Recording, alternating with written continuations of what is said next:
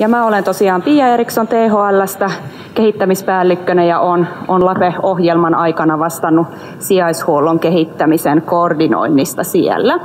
Ja tulen nyt esittelemään teille perhehoidon toimintaohjetta, joka on valmisteilla ja sitä, että miten perhehoidon yksilöllisiin ja muuttuviin tarpeisiin vastataan.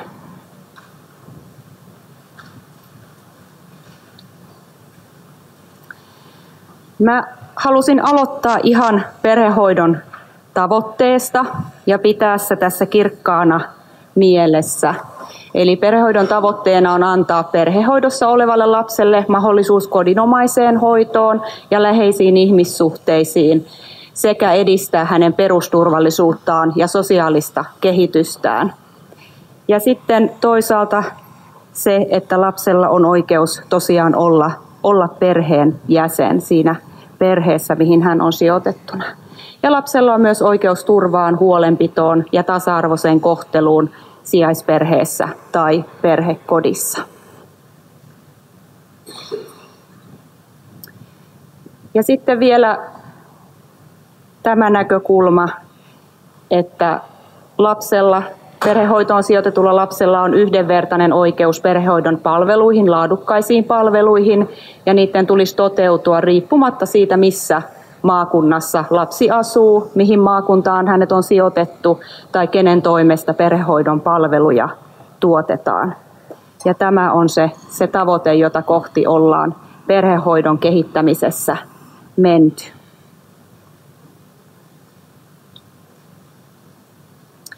Tässä on, on tuosta perhehoidon mallinnuksesta kuva, joka varmaan on teille, teille monelle tuttu. Eli tässä on nyt kuvattu sitä yksilöllisiin ja muuttuviin tuen tarpeisiin vastaamisen perhehoidon kokonaisuutta.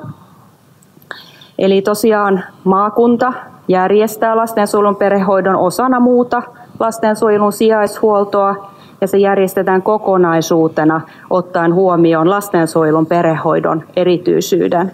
Ja sillä haluan korostaa sitä, että tosiaan osana muuta lastensuojelun sijaishoitoa ja että lastensuojelun perhehoito ei ole samanlaista kuin ikäihmisten tai, tai vammaisten lasten perhehoito. Ja sitten vielä, jos mietitään sijaishuollon palveluja, niin perhehoito, erityisesti toimeksiantosuhteinen perhehoito, on hyvin erityistä suhteessa muuhun sijaishuollon palvelutuotantoon. Sitten tuossa kuvassa on se, että johto sitoutuu moniammatilliseen ja systeemiseen työskentelytapaan ja sen organisointiin siellä maakunnassa. Sosiaalityöntekijät ja muut perhehoidon ammattilaiset, siinä on, taitaa olla tuo perhehoitaja vastuutyöntekijä ja lapsen vastuusosiaalityöntekijä, jotka saa tukea siltä moniammatilliselta tiimiltä. Ja, ja tota, tosiaan johto sen, sen varmistaa. Rakenteet ja toimintatavat niin tukee ja lisää vuorovaikutusta ja luottamusta kaikkien osapuolten välillä, niin ammattilaisten ja asiakkaiden kuin sitten asiakkaiden välistä, eli, eli biologisten vanhempien, lasten, nuorten ja myös sijaisperheen tai perhe, perhehoitajan, perhekodin kodin välillä.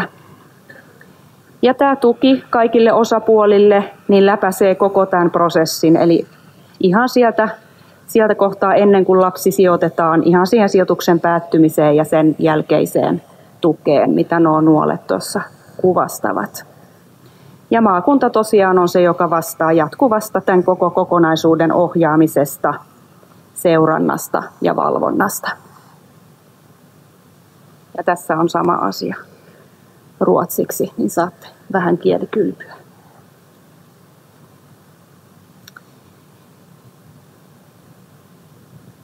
Joo, ja tota, tosiaan osana perhehoidon hoidon kehittämistä nyt Lapen aikana, niin on, on tullut esille toive ja tarve yhteisille toimintakäytännöille, yhteiselle toimintaohjeelle – Tämä ei tietenkään ole mikään uusi tarve, joka olisi nyt Lapen myötä noussut, vaan tarve yhtenäisille käytännöille myös yli maakuntarajojen, niin on ollut ajankohtainen jo pitkään perhehoidon kentällä. Sen jälkeen kun perhehoitolaki uudistettiin, niin sen toimeenpanon tueksi niin laadittiin raportti Hyvä perhehoitotyöryhmä, perhehoitolain toimeenpanon tuki, mutta vielä sen jälkeen niin asiantuntijat ja perhehoidon kentän toimijat niin on peräänkuuluttanut yhtenäisiä toimintatapoja myös kansallisesti. Ja tosiaan osana Lapea niin syksyllä 2016 lähdettiin mallintamaan tätä, tätä perhehoidon toimintakokonaisuutta ja tämä raportti lasten ja perheiden yksilöllisiin tarpeisiin vastaava perhehoito kohti perhehoidon laadun vahvistamista niin valmistui, josta tuo kuva oli, oli otettu. Ja tässä moniäänisessä työpajaprosessissa niin nousi myös esille kentän vahva toive siitä, että toimintakäytäntöjä yhtenäistettäisiin juuri sen takia, että ne on hyvin kirjavia ympäri Suomea. Ja tosiaan tila, tilanne, niin kuin kaikki tiedetään, niin, niin näillä näkymin ollaan siirtymässä kuntapohjaisesta maakunta- tai muun yhteenliittymän järjestämään, järjestämään lastensuojeluun ja sijaishuoltoon. Eli siinä mielessä tämä aika on, on hyvä lähteä hakemaan yhtenäisyyttä. Ja sitten tosiaan tämä, minkä jo mainitsin, että, että on toivetta myös, että, että se ei olisi vain maakuntakohtaista, vaan myös valtakunnallista.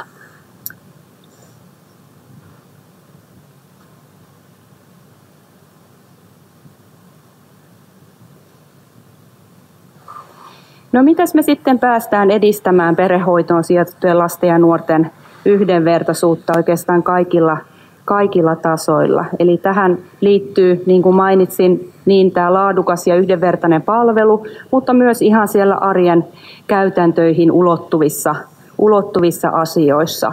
Ja miten se lapsi perheeseen tai perhekotiin sijoitettu lapsi olisi tasavertainen siellä perheessä ja niissä lähiyhteisöissä – joissa hän asuu. Niin osana, osana tätä kokonaisuutta niin lähdettiin työstämään lastensuojelun perhehoidon toimintaohjetta, joka sitten on, on laadittu yhteistyössä maakunnallisten hankkeiden kanssa. Täällä on paikalla ainakin muutavia, aika monta, jotka on jollain tavalla ollut mukana tässä työstämisessä. Eli tähän on osallistunut laajasti julkisen ja yksityisen ja myös kolmannen sektorin perhehoidon toimijoita eri eri maakunnista. Siihen on, on perustettu pienempi, pienempi työrukkani ja sitten sitä on käsitelty eri, eri konklaaveissa. Ihan valmis tämä, tämä toimintaohje ei vielä ole ja se on kulkenut vähän eri nimillä. Mallitoimintaohje on se, jota varmaan tässä jossain diassa vielä, vielä tulee esille, mutta avaa vielä jonkin verran sitä, että mitä, mitä tämä tarkoittaa. Joo, mulla oli näköjään tuossa, tuossa ensin vähän näitä, näitä sisältöjä, eli tämä mallitoimintaohje niin sisältää tämän tyyppisiä asioita. Siitä on pyritty tekemään mahdollisimman kattava, mikä tarkoittaa sitä, että se on aika laaja tällä hetkellä. Ja tuota, pohjana käytettiin eri kuntien kerättiin laajasti toimintaohjeita ympäri Suomea ja katsottiin, että mitä sisältöjä niissä on ja lähdettiin rakentamaan semmoista yhteistä, yhteistä runkoa sille ja, ja tosiaan ollaan yritetty pitää, pitää se moninäkökulmaisena ja ottaa mukaan paljon, paljon asioita siihen. Ja tällä hetkellä se sisältää muun muassa eri perhehoidon osapuolten velvollisuuksia ja oikeuksia, perhehoidon tuen muotoja kaikille näille eri osapuolille – perhehoidon toteuttamiseksi tehtyjä sopimuksia ja niissä sovittuja käytäntöjä ja eri osapuolten osallisuuden toteutuminen perhehoidossa.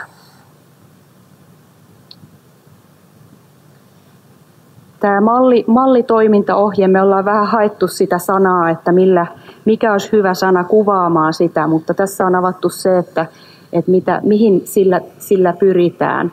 Eli tosiaan niin kuin mainitsin, niin siihen yhdenvertaisuuteen lasten ja nuorten näkökulmasta pääasiassa, mutta on, on tarkoitettu ensisijaisesti tulevien maakuntien käyttöön. Tällä hetkellä kunnat on jo tekemässä ja luomassa niitä yhtenä, yhteisiä toimintaohjeita yhteenliittymille ja tuleville maakunnille, niin haluttiin osana Lapea niin tukea tätä, tätä prosessia.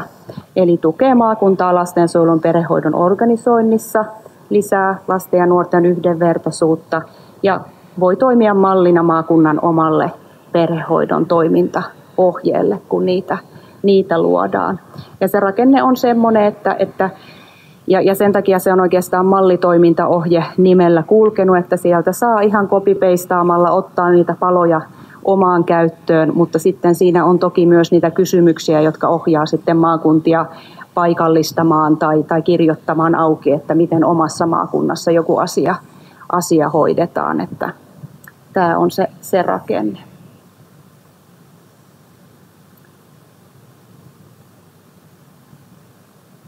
Ja tosiaan siinä kulkee kaikki perhehoidon osapuolet, heidän tuki ja osallisuus, eli lapsi ja nuori itse, biologiset vanhemmat, syntymäperhe ja sitten perhehoitaja ja sijaisperhe ja siihen, siihen kuuluvat perheenjäsenet, esimerkiksi sijais, sijaissisarukset. Ja sitten toisena punaisena lankana kulkee eri osapuolten vastuut, eli maakunta järjestäjänä, tuottajana ja valvojana. Ja palveluntuottajat sekä toimeksiantosuhteisen perhehoidon osalta että ammatillisen perhehoidon osalta, mitkä on heidän oikeudet ja velvollisuudet. Ja sitten lapsen asioista vastaava sosiaalityöntekijä, lasten oikeuksien turvaajana ja perhehoitajan vastuu, vastuutyöntekijä ja sen moniammatillisen tiimin vastuu siinä perhehoidon eri osapuolten tukemisessa. Ja tosiaan, jos otetaan tuo ensimmäinen kohta, eli maakunta järjestäjänä ja tuottajana ja valvojana, niin silloin kun me lähdettiin, lähdettiin tähän työhön, niin oli semmoinen, tai silloin uskottiin siihen, että sotelainsäädäntö olisi edennyt tämän vuoden aikana vähän ripeämmin ja oltaisiin viisaampia tässä kohtaa jouduttiin sitten toteamaan tässä matkan varrella, että, että näin, näin ei käynyt. Eli kaikilta osin ei, ei olla sitten tässä kohtaa nyt pystytty vastaamaan siihen, että, että mitä, mitä se tarkoittaa maakunnan järjestämis- ja tuottamis- ja, ja valvontavastuun osalta.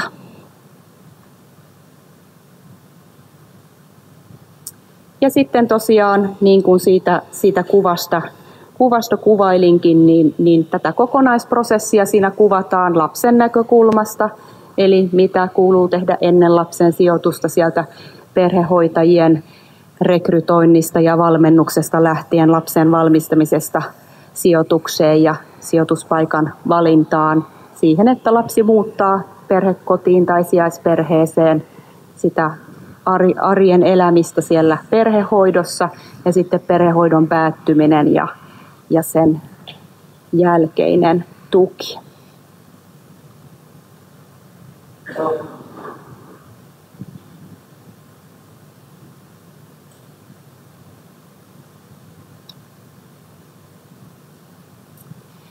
Ja tosiaan, kuten tuossa jo aikaisemmin mainitsin, niin nämä tarpeet yhtenäisille toimintakäytännöille niin on noussut vahvasti kentältä.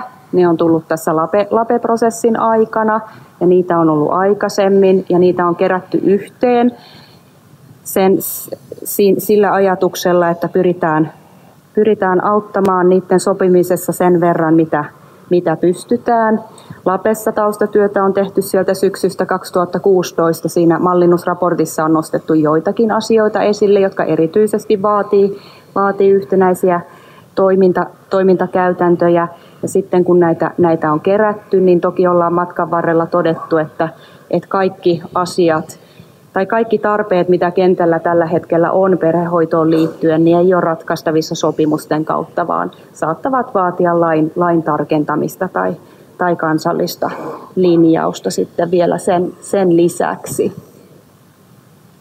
Ja ollaan sitten poimittu niitä asioita, jotka on sovittavissa, eli joille ei löydy säädösperustaa tai jos säädökset jättää harkintavaltaa. Meillä on laissa paljon sanoja, kuten riittävä, henkilökohtaisten ominaisuuksien perusteella sopiva, tarkoituksenmukainen, kodinomainen, läheinen, missä on tavallaan sitä tulkinta, tulkintavaraa.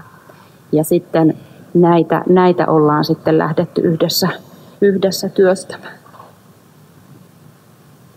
Täällä on ainakin muutamia paikalla tänään, jotka osallistu meidän konsensuskokoukseen tuossa lokakuun, lokakuun lopussa. Eli siellä oli vähän yli 40 perhehoidon toimijaa, toimijaa paikalla. Me oltiin laajasti kutsuttu LAPE, LAPE-verkostojen kautta ja sinne tosiaan tuotiin niitä, niitä asioita, jotka tässä, tässä valmistelussa on ollut semmoisia, joista voidaan lähteä hakemaan yhteistä konsensusta eli yhteisymmärrystä siitä, että miten, miten toimia, jotta edistetään sitä lasten ja nuorten yhden, yhdenvertaisuutta.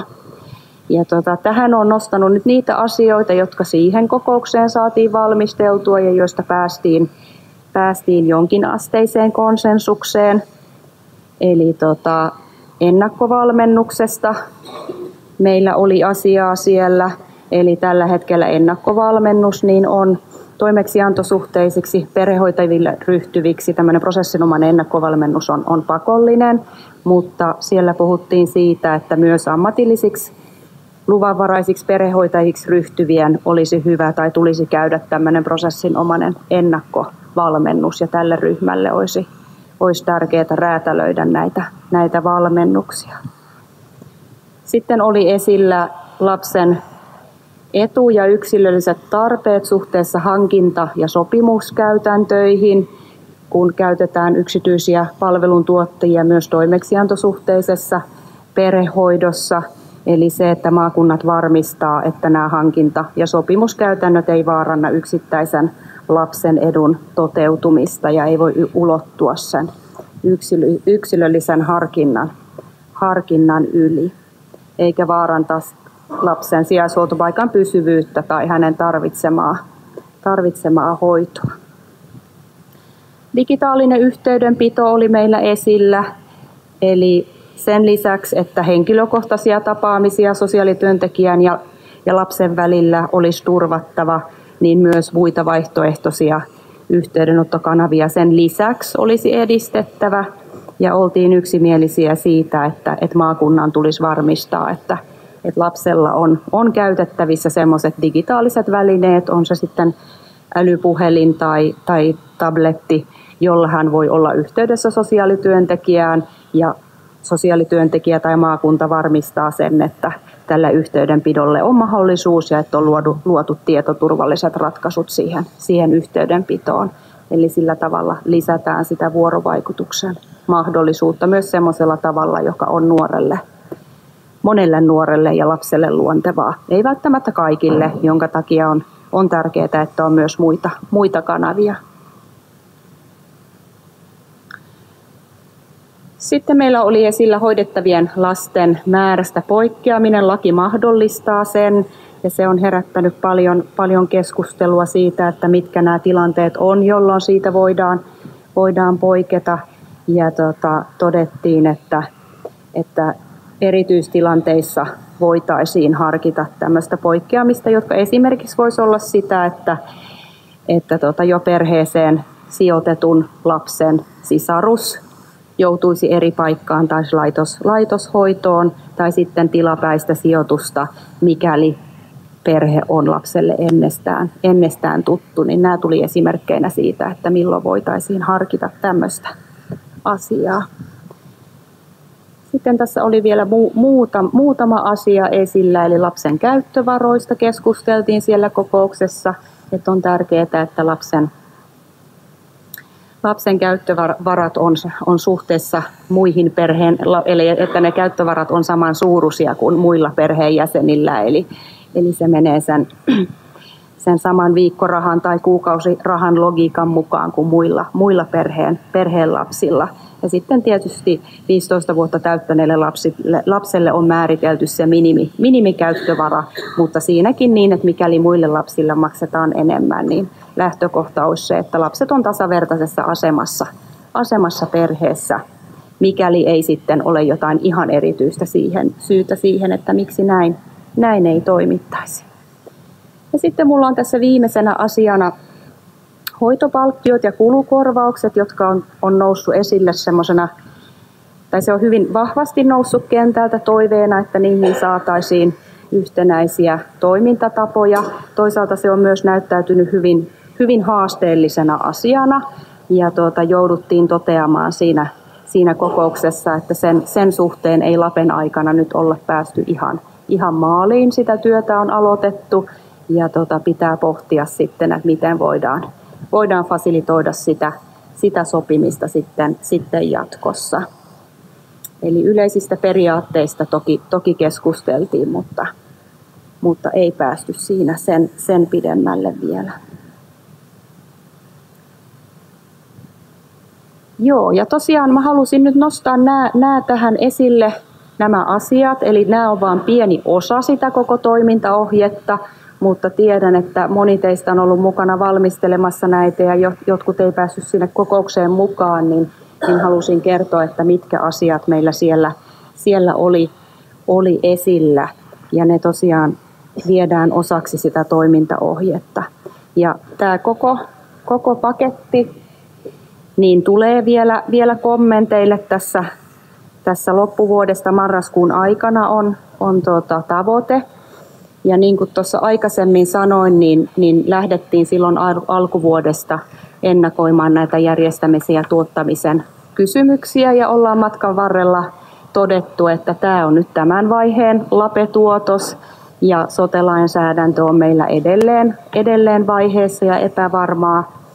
Ja tota, sitten myös se, että tämän yhdessä sopimisen osalta, eli tämmöisiä konsensuskokousten järjestämistä, eli maakuntien välistä sopimista ei tietääkseni aikaisemmin sosiaalihuollossa tehty. Lääketieteessähän on, on tavallista, että sovitaan, sovitaan käytännöistä, niin siinä päästiin harppaus eteenpäin, kokeiltiin sitä ja, ja ainakin mitä mun korviin on kuulunut, niin, niin hyvää, hyvää palautetta siitä, mutta tosiaan näin, että osa osa asioista eteni ja osa jää sitten jatko, jatkosovittaviksi ja työstettäviksi.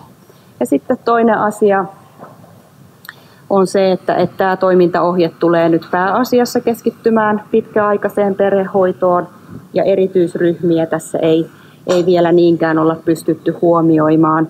Eli esimerkiksi tämä yksin maahan tulleiden lasten perhehoito on sellainen, josta on noussut toivetta, että voisiko sitä siihen sisällyttää. Ja, ja on paljon toiveita, toiveita vielä, että miten, miten laajentaa ja jatkaa tätä työtä myös lyhytaikaiseen perhehoitoon. Ja, ja sitten, sitten tosiaan niin, niin pääasiassa käsittelee toimeksiantosuhteista perhehoitoa, mutta toki myös ammatillista perhehoitoa osittain. Joo, eli tota, tämä on todella laaja kokonaisuus ja tässä oli pieni pintaraapaso siitä, että mitä siinä on mukana, mitä, mitä siinä, siinä käsitellään. Ja se tulee valmistumaan Lapen aikana tämän ajan tuotoksena niin pitkälle, kun, kun saadaan se ja, ja tota, toivon, että se toimii, toimii maakuntien tukena niiden omien toimintaohjeiden luomisessa. Ja tota, se tulee vielä kommenteille Lape, Lape-verkostojen kautta tässä marraskuun aikana ja kaikki kommentit on tietysti erittäin tervetulleita siihen. Eli tämän verran nyt tässä, tässä kohtaa. Kiitoksia.